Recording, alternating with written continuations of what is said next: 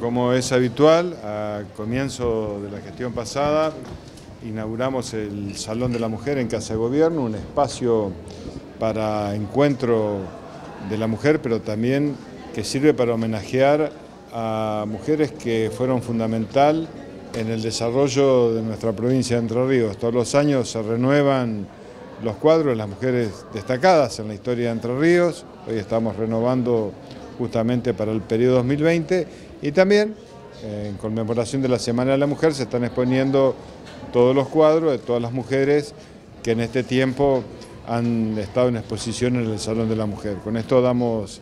inicio a todo lo que es la Semana de la Mujer y el compromiso que tiene nuestra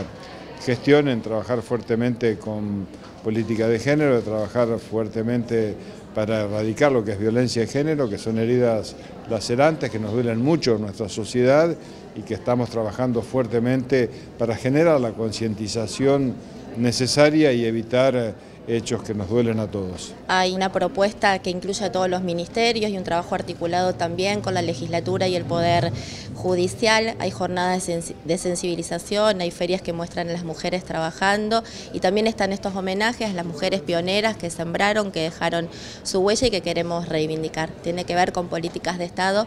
que comenzamos con la capacitación de la ley Micaela y que se abren en, no solamente en las semanas, sino en todo el mes con una propuesta de mediano y de largo plazo.